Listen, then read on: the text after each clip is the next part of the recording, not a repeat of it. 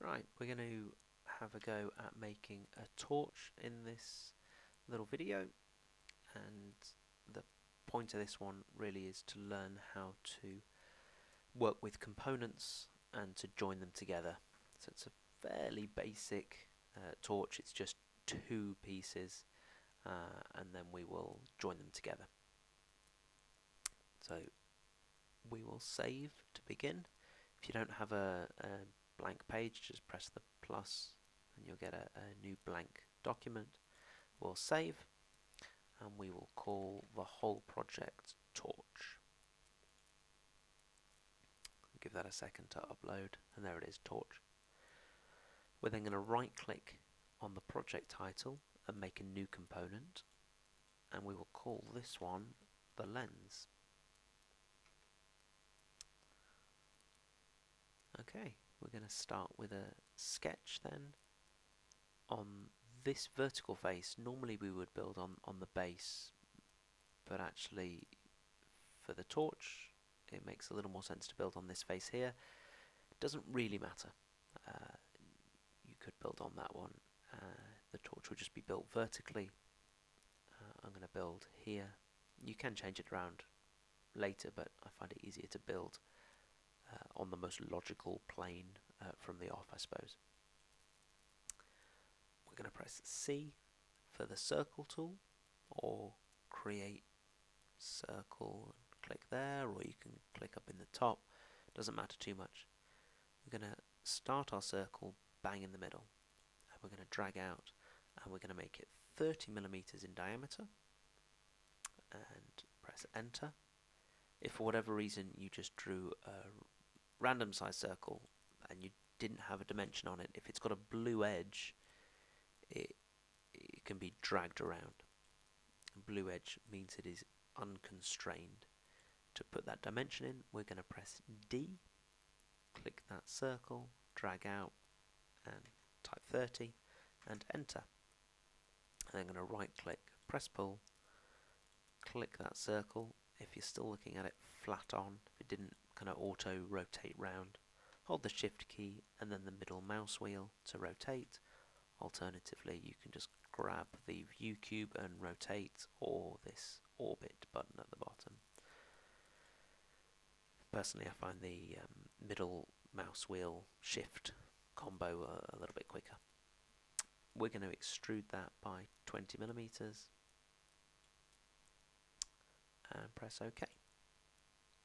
We're now going to add a little chamfer under the Modify tab, chamfer on the back edge. I'm going to rotate around here, zoom in and just make sure I am selecting this edge, and that's going to be 5 millimeters. We'll then roll around and look at the front of the torch. Again, shift middle mouse wheel. And if you just press the middle mouse wheel down without holding shift, you can drag it, uh, sort of panning, I suppose, we're keeping it flat. I'm going to start a sketch on the very front, draw a circle, so C, click in the middle, drag out, and this circle is going to be 25 millimeters. I'm going to right click, press pull, click that circle and take it in just 2 mil, minus 2. That, that's it, that's the lens portion of the torch complete. We're now going to make a new component called torch body. If we right click on the title of the whole project, new component, we're going to call this torch body and we're going to make a new sketch. You can see it's ghosted out the lens cap. It is still there, we can still use it and draw on it most importantly. Um, but it isn't the active components. The one with the dot on is active, and at the moment that's the torch body, even though there's nothing sketched just yet. I'll click to create sketch. We're going to start a sketch on the uh, back face there. And on that sketch, we are going to draw a circle right in the middle, drag it out. It's going to be 20 millimeters uh, right click, press pull, and we're going to drag that out 75 millimeters. on the rear portion of the torch here we're going to add a few little details. A little fillet. So we're just going to pick up that edge just a small 2 millimeter fillet. And we're going to put a little button on the back as well. So I'm going to start a sketch on the very back of the torch draw a circle that is 10 millimeters in diameter. Another circle so I'm pressing C for the circle tool. Click drag out 18 millimeters. Enter. I'm then going to right click press pull.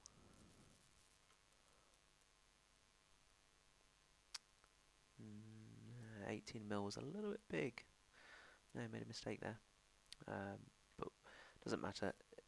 Fusion is actually already referenced the edge of this radius.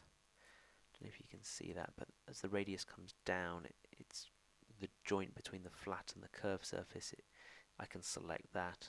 So that's my 18 mil circle which is too large really. Uh, I'm just going to select that portion there and drag that in. 2 millimeters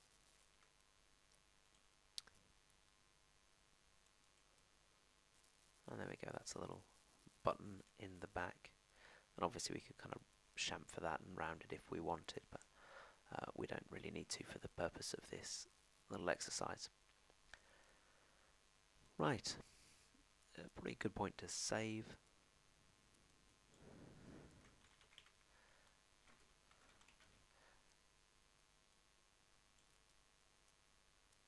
Okay, what I'm going to do now is activate the entire model. So this is this is the model with a little activate component button next to it, and at that point they they both kind of become visible if you like because they're both active. They both of these parts are found within this big project. When it's active, they're both visible. If I activate the lens cap, the other disappears, and any modifications I make to this shouldn't influence the uh, the torch body and, and vice versa. But I want them both on. Now I don't suggest you do this, but just to kind of show you, neither of these are fixed in, in 3D space. I can click and drag either and they'll just move away from one another. I'm going to undo that, bring it back. The first thing we need to do is ground one of these. Now, it doesn't matter which necessarily. I'm going to ground the lens cap. It's the first thing I built. If you right click the component over here in the kind of model tree, and ground, you'll see a little pin symbol appear. And I can no longer move that around as I click and drag, nothing happens. The, the body still moves, but that does not. We're now going to press J or joint and make a joint, a connection between those two components. If you hover over the flat surface of the body, it's the very mid portion we're looking for and then I'm going to roll round and hover over the lens cap. Fusion quite helpfully makes the components invisible after you've selected them. So we shall select that and that little kind of vib vibrating animation just shows that it's uh, a rigid joint. I'm going to press OK. Now that symbol there just tells me there's a joint between the two. If I wanted to make that invisible, I can turn off the joints up here. The joint is still there. I, I can no longer move either of these. The lens is fixed. The uh, body is, is jointed to it. The last thing we're going to do is play around with the physical materials or the uh, color, I suppose, of this. If you go into modify and then appearance, these are all kind of paint, if you like, even though this component will still be physically steel, that's the standard material that Fusion builds in. We can apply different materials over the top, but they are like painting a product. If you were to paint a, a wooden box, it is still a wooden box, even if it's painted to look like aluminium or you know a, a polymer so there's a whole range of different materials that we could uh, we could sort of paint it in carbon fibers, uh, different metals, liquid even. I'm just going to choose a, a an actual paint, uh, just a coloured paint. Again, it doesn't really matter too much. Uh, let's have a green torch. You'll note the entire body changed colour if you want to just paint a certain portion. Let's say I wanted uh, this back section to be kind of a glossy grey. You have to change up here to faces and drag out and you can paint just like a, a single surface. That button I'm going to have as red just so it's nice and easy to see. There we go.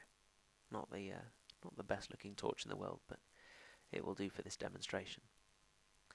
The main reason I wanted to show you the appearance, and again to get into this tab it is modify appearance, or you can press A, is Fusion has some quite clever um, appearances, paints that we can use in the other folder. Emissive, there are a range of different um,